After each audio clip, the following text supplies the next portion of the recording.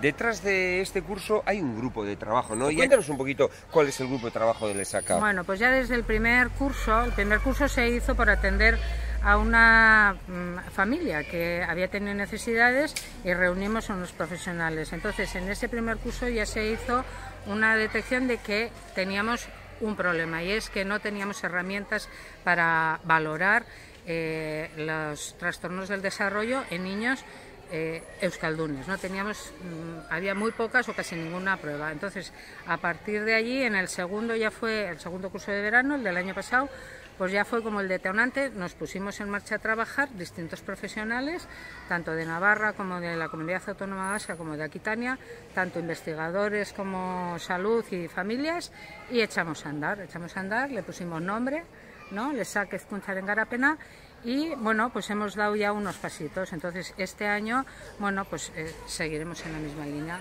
seguiremos aprendiendo y seguiremos recogiendo impulso para poder trabajar ¿no? en esto, para poder cubrir esas deficiencias que, encontramos. Es el objetivo de este grupo. Pues lo único que nos queda es desear mucha suerte al grupo, desear que el curso salga bien y que la gente vea, asista y participe y sorteón.